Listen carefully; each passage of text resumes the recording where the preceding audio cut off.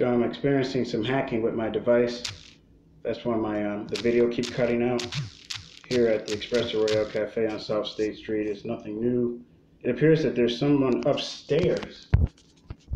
Um, so there must be some other business or apartment upstairs or something. Because I could hear them, you know, around, you know, almost in response to um, what I'm seeing here in the video. Um, uh, I've also made videos and pictures of this bathroom before. So there, now, now it's clear, um, for some reason. Uh,